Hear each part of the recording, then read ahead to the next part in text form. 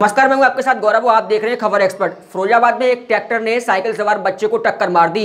बच्चा गंभीर रूप से घायल हो गया तो वहीं ग्रामीणों ने उसे अस्पताल में भर्ती करा दिया। डंपर बहुत तरीके से चलते हैं और मेरा मेरा भी एक विद्यालय है, वहाँ भी छोटे छोटे बच्चे जाते हैं और ये डंपर बहुत तेज़ी से भगाता है, जबकि ब्रेकर लगा हुआ है, लेकिन ये ब्रेकर पर भी धीमा नहीं करते हैं। ये बहुत निंदनीय घटना है, इसे कहना चाहिए कि मतलब बहुत खराब घटना है।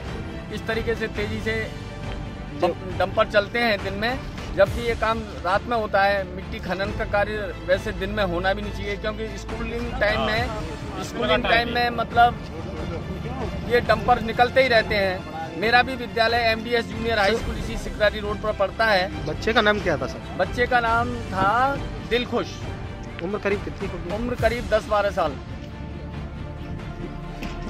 बच्चा की हालत कैसी बनी हुई है हालत बहुत गंभीर है बच्चे की, हालत बहुत गंभीर है।